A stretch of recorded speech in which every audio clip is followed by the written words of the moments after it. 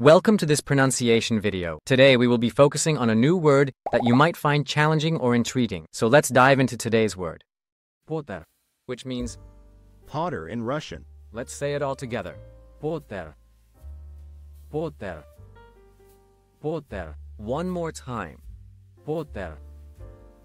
Potter. Potter. Thank you for joining us on this adventure in pronunciation. Remember, language is a journey, not a destination. Keep exploring, experimenting, and expanding your linguistic horizons. We'll see you next time.